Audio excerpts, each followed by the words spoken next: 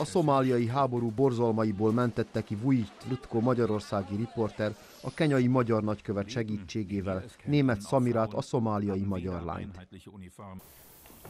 Kettő óra múlva itt a teremben csak azt tapsoljon, aki sokkal erősebbnek érzi magát. Szabadkai előadásán az észak-koreai, türkmenisztáni és afrikai utazásairól beszélt. A történetekben mindig szerepelt egy magyar hétköznapi hős is. A legnehezebb pillanatokban is van egy magyar ember, egy közülünk, aki lehetnél akár te is, akár operatőrbarátod, akár bárki itt, aki a széksorok között ül, aki egy pillanatban, egy alkalommal megmenti a világot. Mert nem tudhatjuk azt, hogy melyik az a pillanat, amikor segítségére lehetünk másnak. Nem indexeltek a pirosnál előttünk, át kell neki integetni, tuti. Egy több országot érintő felmérés szerint a magyar nemzet az egyik legpesszimistább a világon, mondta az előadáson a riporter. Pedig az, hogy a nézők széken ülnek, ruhájuk és cipőjük van, hogy tiszta vizet isznak, a világ jelentős részében luxusnak számít.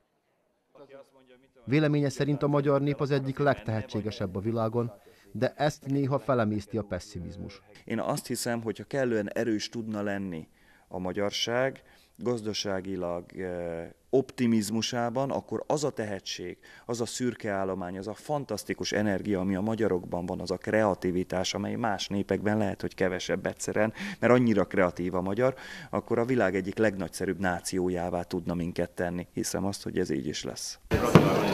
Köszönöm szépen. Vujic Tvrtko a Jadrán színpadon megtartott közönség találkozó után dedikálta a könyveit az érdeklődőknek.